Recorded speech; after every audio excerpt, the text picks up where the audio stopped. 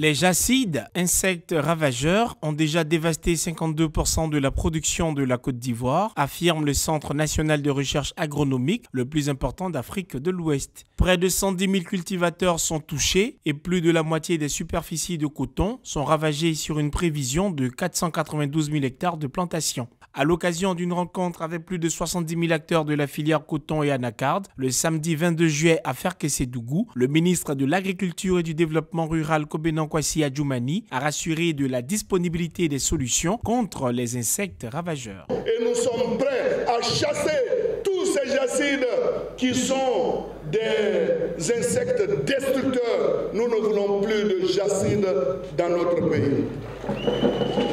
Nous n'en voulons plus, c'est pour cela, comme l'a dit le DG du Conseil Coton en Arcade, nous sommes en train de faire des recherches et je crois que le CNRA est en train de trouver la solution à ces jacides. En plus de faire des ravages sur les cultures cotonnières, les jacides se sont désormais étendus aux maraîchers ivoiriens, rendant non comestibles certains légumes. Ces insectes ravageurs s'étendent à la rousselle, au kénaf, au manguier, à l'anacardier, au karité, au soja, à l'iam, à l'arachide, sans causer pour le moment des dégâts.